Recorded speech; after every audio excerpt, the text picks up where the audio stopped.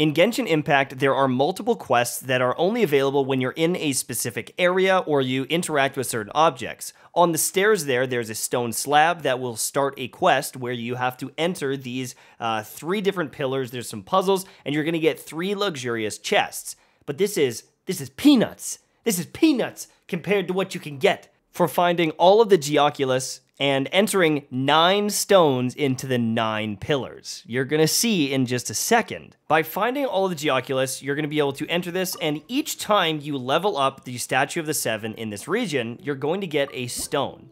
You're gonna get nine of these stones in total, a stone of remembrance. You can see here, I'm maxing it out. I'm at level 10. I get the final stone, and it allows me to start a new quest. Head over to the QG slope, or however the hell you pronounce that, and you're gonna find nine pillars. At the center of this, you're going to need to activate the stone pillar. The inscription there will tell you that there are nine pillars in the area. They're very obvious, they're very big, they glow uh, orange. You can see them from a mile away. You're going to need to run up to each of them, and you're going to need all nine of these stones. Climb on top, and you're going to find a face that you can interact with and use some of the stones of remembrance. This will break the seal, and you need to do it to each pillar. Now, each time you activate one of these, there's going to be a chest that spawns down below. Make sure to grab that for the experience and items, but just be careful because there are some enemies that spawn near some of these, and uh, if you're running around with just like a weak adventuring team, not your main team, you might get run over. There's no trick to finding these, they're all scattered around the perimeter, so hunt them down, and once you do, a giant door is going to open. Now, once you enter the tomb, I would honestly recommend using some buffs, some defense buffs, some attack buffs, maybe even some crit, because this is actually the hardest fight that I've done in Genshin Impact so far.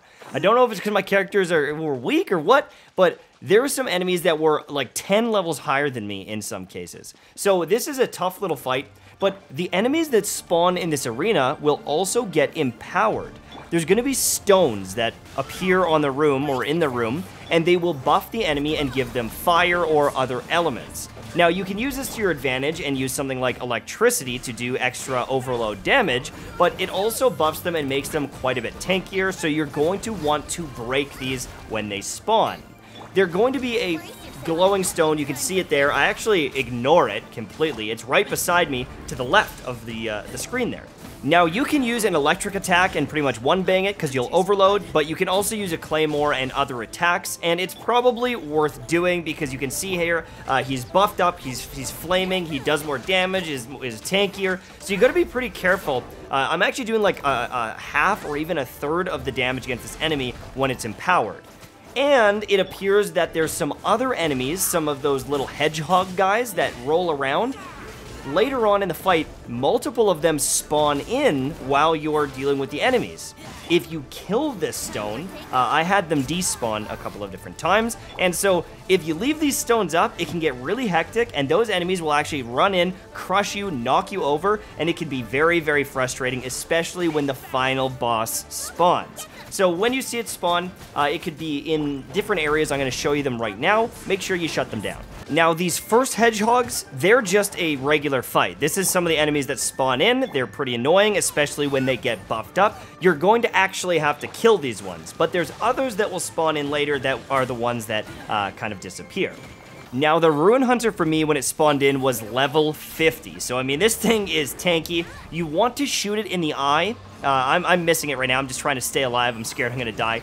But it has a weak spot that if you shoot it, it will deactivate the enemy. But a big thing too is there's going to be these stones spawning all over around the map.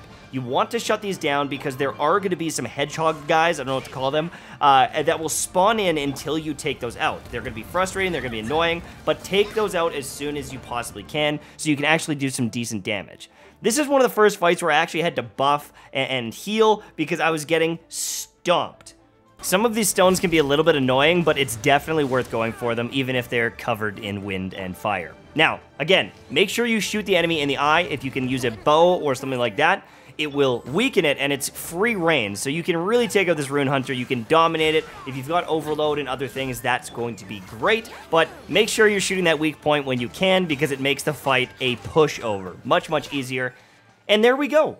Now, we're going to be getting uh, a couple of chests in this room and it's also going to give you another part of the quest, which gives you a fantastic reward at the end.